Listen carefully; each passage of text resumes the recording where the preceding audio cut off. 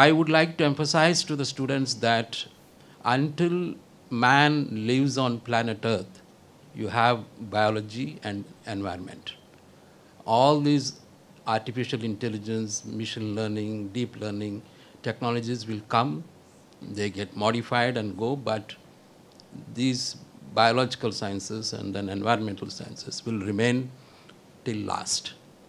So this is the confidence which has instilled in me and then also with my colleagues, uh, Professor Gopi and then Dr. Manobala and Kalimuthu and Dr. Anil and Dr. Sridhar.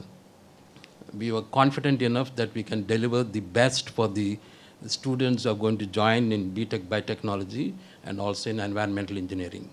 The course curriculum is so designed that a student who undertakes this program with us will be learning more than 25% of the syllabus which is being listed for the GATE.